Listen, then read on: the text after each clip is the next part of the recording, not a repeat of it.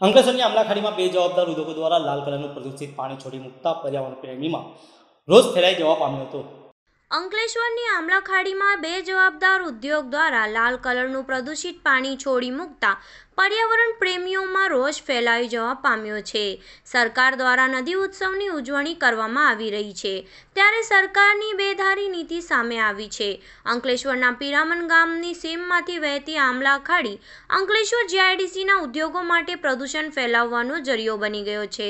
હાલ કેન્દ્ર સરકાર દ્વારા શિયાળુ સાંસદ સત્રમાં ગુજરાતમાં નર્મદા નદી આમલા ખાડી અને અમરાવતી ખાડી સહિત કુલ વીસ નદીઓ પ્રદૂષિત જાહેર કરી હોવાના પ્રાકૃતિક સુરક્ષા મંડળના સલીમ પટેલે આક્ષેપ કર્યા છે અને અંકલેશ્વરની આમલા ખાડીમાં બે જવાબદાર ઉદ્યોગો દ્વારા લાલ કલરનું પ્રદૂષિત પાણી છોડી મૂકતા તેઓએ નારાજગી વ્યક્ત કરી છે.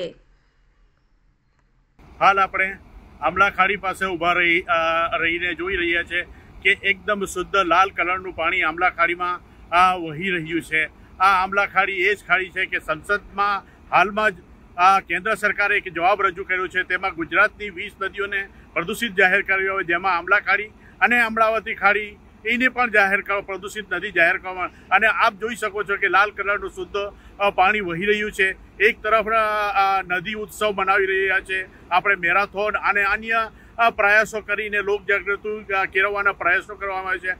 પરંતુ જેમને કરવાનું છે એ ઉદ્યોગપતિઓ, ઉદ્યોગકારો અને સરકારના જીપીસીપીના અધિકારીઓ દ્વારા કોઈ પણ જાતના પગલાં લેવામાં આવતા હોય એ દેખાતું નથી અને એ એ પગલાઓનું કોઈ પરિણામ હાલ દેખાતું નથી. આપણે એર પોલ્યુશનમાં પણ અત્યારે જોઈએ છીએ કે આપણો ત્રણસો ને પાર જઈ રહ્યું છે. એ જ રીતે પાણીના પ્રદૂષણનો પણ આપ આપ જાહેરમાં જોઈ શકો છો કે લાલ કલરનું પાણી આ આમલા ગાડીમાં રહીને નર્મદા નદી સુધી જાય છે. નર્મદા નદીથી દરિયો પણ પ્રદૂષિત કરી રહ્યો છે.